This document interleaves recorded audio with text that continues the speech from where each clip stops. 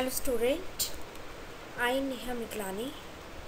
Today I am here to give you view a presentation on the topic of experimental research design types. This is my 10th video in this topic, the types of research with examples. In this video today I am going to discuss the third quasi experimental design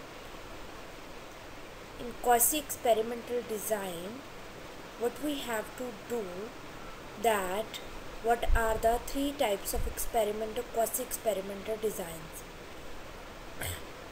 in my previous video i have discussed about pre experimental design true experimental designs and also discussed the types of pre experimental design that is the one shot case study design one group pre-test post-test design static group comparison.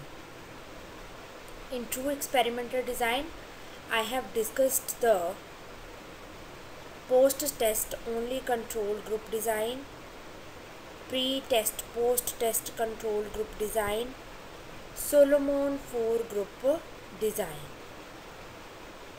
And in quasi experimental design in today we are going to discuss the non-equivalent control group design time series multiple time series and after that we are going to cover the factorial design. So what is pre-experimental design? Pre-experimental designs i have already told you about design in this there are three types of design there are non-equivalent control group design time series design and multiple time series design so first there is non-equivalent control group design so what is non-equivalent control group design subjects are tested in existing groups or intact group rather than being randomly selected होते हैं हम subject से जो है वो हम करके देखते हैं so in non-equivalent uh, control group design subjects are tested in existing group or intact group rather than being randomly selected. Non equivalent group control group design में क्या होते हैं? आप दो तरीके के ग्रुप से इसमें क्रिएट करते हो जैसे कि आप हमेशा ही करते हो ठीक है? इसमें क्या होता है कि आप जो होते हो प्री टेस्ट और पोस्ट टेस्ट बिहेवियर को जज करने की कोशिश करते हो बट रैंडम जो असाइनमेंट आप देते हो सब्जेक्ट ग्रुप्स को वो आप नहीं दे पाओगे इसमें। That is a impossible in this type of design so subjects are tested in existing group और intact group rather than being randomly selected and O one like we have the taken the example O one is the one group O one means you have to identify the pre test behaviour and X is the experiment या treatment then you will take the experiment and then there is o2 o2 means then you will observe the post test behavior and after that there is another group like you will take you will test the uh, pre-test behavior and there is no treatment on the control group and you will also recognize the post-test behavior so there is बस basically एक एक ही इसमें सिर्फ़ आपको difference रह जाता है जैसे कि हम टू एक्सपेरिमेंटल डिज़ाइन में करते हैं दो तरीके के ग्रुप्स लेते हैं। इसमें भी हम दो तरीके के ग्रुप्स ही लेंगे बट हमारी जो रैंडम असाइनमेंट होगी, वो नहीं होगी। जिसके ऊपर आप ट्रीटमेंट पहले लगा रहे हो तो बार बार वही, उसी ग्रुप के ऊपर आपको ट्रीटमेंट लगाने ही लगाने क्लियर ठीक। ना come to the time series time series में क्या होता है आप? पर्टिकुलर टाइम पे से आप काम करते हो। A single group is pre tested rapidly until pre test scores are stable, exposed to treatment, and then rapidly post tested एक सिंगल ग्रुप होता है जिसको हम प्री टेस्टेड करते हैं, उनके बिहेवियर को रैपिडली हम रैपिड वे से रैपिड वे से मतलब बार बार बार बार बार बार स्टडी ए की स्टडी बी की स्टडी सी की स्टडी डी की, और हर एक स्टडी में उनके बिहेवियर को नोट नोट किया। प्री टेस्ट भी और पोस्ट टेस्ट भी। That is the time series मतलब अब एक ही आपके पास एक्सपेरिमेंट नहीं होगा and uh, you will take the pre-test post-test behavior and uh, you will uh, again repeat repeat आप उनको उनके ऊपर दोबारा दोबारा दोबारा आप टेस्ट रिपीट करते रहते हैं। नेक्स्ट क्वासी एक्सपेरिमेंटल डिज़ाइन के मल्टीपल टाइम सीरीज़ में भी यही होता है।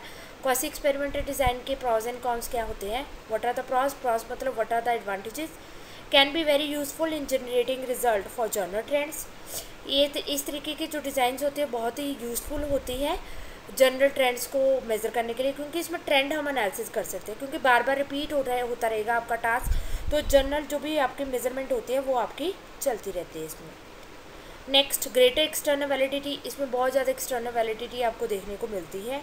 That is also a very good affect much most more feasible given time and logical constraint ठीक है? मोस्ट फिजिबल होता है और मोस्ट कंस्टेंट वैल्यूज़ होती हैं। अब कौन क्या होते हैं? Without proper randomisation statistical test can be meaningless randomisation policy के बिना ये ये कहते हैं कि भी आप लोग अच्छा रिज़ल्ट आप नहीं ले सकते। Not as many variable control कोई भी ऐसा वेरिएबल नहीं है जिसको कंट्रोल नहीं किया जा सकता। सिलेक्शन कुड बी बाइस्ड आपकी जो सिलेक्शन है वो बाइस नेचर की हो सकती है। So that the cons now we have the next design that is the factorial design this is the last type of the experimental design the researcher manipulate two or more independent variables simultaneously to observe their effect on the dependent variable researchers क्या करते हैं manipulate करते हैं दो से दो variable independent variables को ताकि उनके इफ़ेक्ट को मेज़र किया जाए डिपेंडेंट वेरिएबल के ऊपर So, this design is useful when there are more or two independent variables called factor to be tested. ये डिज़ाइन तब आपके लिए बेनिफिटेड होता है जब आपके पास दो इंडिपेंडेंट वेरिएबल्स हो। आप एक ही इंडिपेंडेंट वेरिएबल के साथ आप स्टडी नहीं कर सकते। हो you have to take two independent variables and after that you have to study all this things ठीक है? सो इसका मेन इफ़ेक्ट यही होता है कि आपको दो इंडिपेंडेंट वेरिएबल्स लेने पड़ेंगे। For example research want to observe the effect of two different protocol of mouth care prevention of VAP when perform at different frequencies in a day आप लोगों ने एग्ज़ाम्पल मैंने ली है कि आपने माउथ फ्रेशनर की ट्रीटमेंट लेनी है कि माउथ फ्रेशनर आपके जो, आपके माउथ के प्रोटोकॉल्स होते हैं, उनको आप, वो उनकी फ्रिक्वेंसी कैसे रहती है डे में? ठीक है? तो वह उनके वैल्यू इफ़ेक्ट आपने चेक करने हैं, ठीक है? तो उनके यहाँ पर जब दो, दिन में दो टाइम आप सिलेक्ट करते हो, ठीक है? एक टाइम आपका होता है मॉर्निंग का, एक आप इवनिंग का टाइम लेके चलते हो। तो तब आपकी स्टडी क्या कहलाती है? तो that is the factorial design so this design also facilitate the testing of several hypothesis at a single time हम लोग इसमें सेवरल हाइपोथेसिस को टेस्ट कर सकते हैं सिंगल टाइम में. Factorial design incorporate two two two three factorials ठीक है? Two two two two two three factorials लेके चलते हैं ये। But it can be any combination ये किसी भी तरीके के कॉम्बिनेशन हो सकते हैं। The first number alpha refers to the independent and beta is the refers to the level of frequency of the treatment like we have the frequency mouth care की frequency मैंने चार चार घंटे के बाद टेस्ट करनी है, ठीक है? क्लोरोक्साइड एंड सैलिन की मैं ले रही हूँ ट्रीटमेंट मेरी क्या है? क्लोरोक्साइड और सैलिन की ठीक है? So beta is my treatment and alpha is our result ठीक है independent so treatments are four hourly six hourly and eight hourly so this type of the design is called factorial design clear ना factorial designs ठीक है? मैं एक और example लेके बता रही हूँ. Driver frustration under low medium and high density traffic conditions and under traffic flow controlled by police officer और a traffic signal was investigator एक ड्राइवर की कैसी फ्रस्ट्रेशंस होती हैं जब उनको लो ट्रैफ़िक मिलता है मीडियम ट्रैफ़िक मिलता है या हाई लेवल ऑफ़ ट्रैफ़िक उसको मिलेगा। ठीक है?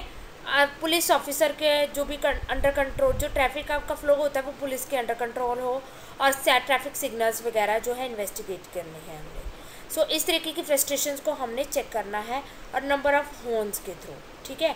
Honked by drivers before receiving the right of way at a controlled intersections the mean number of horns honked in each condition mean numbers हमने मेज़र करने इसमें, ठीक है? सो ट्रैफ़िक डेंसिटी हमने ली है लो लिया है मीडियम लिया है लो लिया है हमने मीडियम लिया है हाई लिया है। ऑफिसर के थ्रू देखना है और सिग्नल के थ्रू देखना है। तो दो वेरिएबल कौन से? एक ऑफिसर के थ्रू एक सिंगल वेरिएबल के थ्रू ठीक सिग्नल के थ्रू सिग्नल से जो होते हैं ट्रैफ़िक लाइट्स के थ्रू ठीक है? तो दो तरीके के वेरिएबल्स हमने इंडिपेंडेंट वेरिएबल्स इसमें ले लिए हैं, ठीक है? ऑफिसर एंड सिग्नल और लो के टाइम पे मीन निकालना है मीडियम के टाइम पे एंड हाई के टाइम पे, और इनका मीन रो वाइज और कॉलम वाइज हमने स्टडी करना है. So that is our factorial design, in which we will take the two variables, independent variables, and study on that independent variables are being studied on the dependent variables. So so, ये मैंने exam officer और signal की मैंने इसको solve करके इसका solution यहाँ पे दिया है ठीक है? Now what are the pros and cons of the factorial design pros more precisions on each factor than with single factor experimentation ये इस तरीके की जो स्टडी होती है बहुत ही ज़्यादा हेल्पफुल होती है जब हमारी जो स्टडी होती है वो सिंगल फैक्टर के थ्रू ना हो ठीक है? क्योंकि हम इसमें डबल वे से काम कर सकते हैं क्लियर नेक्स्ट कॉन्स क्या है इसका? कॉम्प्लेक्स स्टडी हो सकती है। The experiment can be very large, number of factors each at several level. तो एक्सपेरिमेंट आपके बहुत ज़्यादा बड़े हो सकते हैं तो जिसकी वजह से आपको ईच ईच फैक्टर के ऊपर काम करना पड़ सकता है तो कॉम्प्लेक्स सिचुएशन क्रिएट हो सकती है। सो रेंडमाइज्ड ब्लॉक डिज़ाइन ठीक है? This is our last type when there are large number of experiment comparison groups जब हमारे पास large number of comparison groups होते हैं तो रैंडमाइज ब्लॉक डिज़ाइन को हम यूज़ करते हैं ताकि एक डिफरेंट ग्रुप्स को क्रिएट किया जा सके और उनके अफेक्ट को हम चेक किया जा सके, ठीक है? जैसे for example researcher want to examine the effect of three different types of anti hypertensive drugs on patients with hypertension to ensure the homogeneity among the subject under treatment researcher randomly places the subject in homogeneous groups ठीक है? तो आप लोग इस type पे जो भी इस तरीके की एग्जांपल आप लेके चलोगे तो आप एक्सपेरिमेंटल स्टडी को आप कंडक्ट कर सकते हैं। So there are two factors types of anti hypertensive drugs इसके जो मैंने एग्ज़ाम्पल लिया है, ये इसका सोल्यूशन इस तरीके से आप ले सकते हो। You can do it from your home now what is cross over design in this design subjects are expose to more than one treatment आपको जो सब्जेक्ट्स आपने लेने हैं, हमने ग्रुप लेना है, उनके ऊपर एक से ज़्यादा आपने ट्रीटमेंट लेनी होती है। वे सब्जेक्ट्स आर रैंडमली असाइन आप सब्जेक्ट्स को रैंडमली असाइन भी करते हो डिफरेंट ऑर्डर ऑफ़ ट्रीटमेंट उनके ऊपर लगाते हो एंड रिपीट मेजर डिज़ाइन आप इसमें फॉलो करके चलते हो। उसको हम क्रॉस ओवर डिज़ाइन कहते हैं। जैसे इसमें मैंने एग्जांपल ली हुई है when we are comparing the effectiveness of क्लोरोडाइड्स and saline mouth care protocol first we administer the chlorhexidine mouth care protocol on group one and saline mouth care protocol on subject of group two ठीक है? उसके बाद उनको दोबारा से randomly assign कर दिया। So that is cross over तो इनकी ट्रीटमेंट इस तरीके से ले सकते हो। पहले टाइम पे आपने प्रोटोकॉल में आपने क्या किया? ग्रुप वन के ऊपर क्लोरोडाइसिक की क्लोरोक्साइड सॉरी क्लोरोक्सीडाइन की आपने एक्सपेरिमेंट ट्रीटमेंट किया। ग्रुप वन पे सैलिन की चेक की, ठीक है? फिर ग्रुप वन पे आपने सैलिन की चेक की और उसको क्लोरोडाइक्साइड तो आप लोग इस तरीके से आपको फॉर्म कर सकते ना come to the examples of experimental design so what are the examples of experimental design like first examples are administrative exams after the end of semester so this is the example employee skill evaluation this is also an example evaluation of teaching method so these all methods can be used for the experimental designs now difference between experimental and non experimental design experimental research क्या होती है जब आपकी जो study होती है वो controlled हो मैनुपलेटेड हो तब आपकी एंड प्रिडिक्टर वेरिएबल के ऊपर हो रही हो तो वो आपकी एक्सपेरिमेंटल स्टडी होती है नॉन एक्सपेरिमेंटल स्टडी में आप कोई भी किसी भी तरीके का कंट्रोल ग्रुप क्रिएट नहीं करते हो, ना ही आप वेरिएबल्स को मैनुपलेट करते हो, ठीक है? सो एक्सपेरिमेंटल स्टडी में दूसरी चीज़ क्या आप स्टडी करते हो? कॉज एंड इफ़ेक्ट रिलेशनशिप जो होता है, वो रहता ही रहता है, ठीक है? तो जिसकी वजह से आपका नॉन एक्सपेरिमेंटल स्टडी में कॉज एंड इफ़ेक्ट रिलेशनशिप आप चेक नहीं करते हो। We will check the influence in non experimental study में, सिर्फ़ आप एक इन्फ्लुएंस चेक करते हो वेरिएबल्स का, कि इन्फ्लुएंस कितना रह रहा है वेरिएबल्स का दूसरे वेरिएबल्स के ऊपर। Independent variables are not introduced independent variables को कभी भी इंट्रोड्यूस नहीं किया जाता है। विड्रॉ नहीं किया जाता है। मैनुपलेट नहीं किया जाता है। But the same may not be set about experimental research इन चीज़ एक्सपेरिमेंटल रिसर्च में इन चीज़ों को नहीं कहा जा सकता। सो so, डिफरेंस क्या है? सबसे पहला डिफरेंस है कि आप एक्सपेरिमेंटल स्टडी के टाइम पे कंट्रोल ग्रुप क्रिएट करते हो, ठीक है? बट आप जो होते हो, एक नॉन एक्सपेरिमेंटल स्टडी में कभी भी कोई कंट्रोल ग्रुप क्रिएट नहीं करते हो। और ना ही आप किसी वेरिएबल्स को मैनिपुलेट करते हो, ठीक है? तो उसके अलावा जो है, दूसरी चीज़ जो आप देखते हो एक्सपेरिमेंटल स्टडी में आप कॉज एंड इफ़ेक्ट रिलेशनशिप को स्टडी करते हो बट नॉन एक्सपेरिमेंटल स्टडी में cause and effect relationship study को नहीं देखा जाता है। सिर्फ़ वेरिएबल्स के इन्फ्लुएंस को चेक किया जाता है। Independent variables are not introduced withdrawn इनको इंट्रोड्यूस नहीं किया जाता इंडिपेंडेंट वेरिएबल्स को बट एक्सपेरिमेंटल स्टडी में इनको इंट्रोड्यूस किया जाता है। So this is all about for my today topic. Thank you so much for the listening. And by this topic our types of the research uh, types of the research with examples are complete now. If there is any query left i will take the live session uh, from um, saturday to sunday. You can ask any query in your this sessions. Thank you so much